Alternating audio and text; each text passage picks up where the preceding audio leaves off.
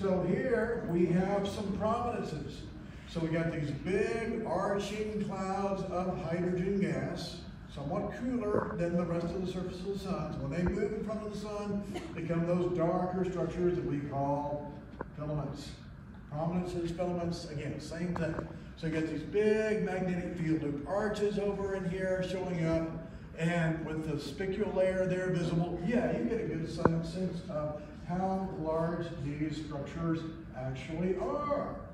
All right, so let's go and take a quick pan around the solar margin here, going over the solar North Pole. No hot Santa Claus is up there. And down, yeah, big monster prominence in there. In fact, if I take and just overexpose this, so we can just look at the prominences and ignore the rest of the surface of um, the sun, that will be a good way of kind of closing out the program. Big prominences. Yeah, they're whoppers. Big Mac, I'm sorry. Okay, so a few more prominences here, and we're going to the South Pole.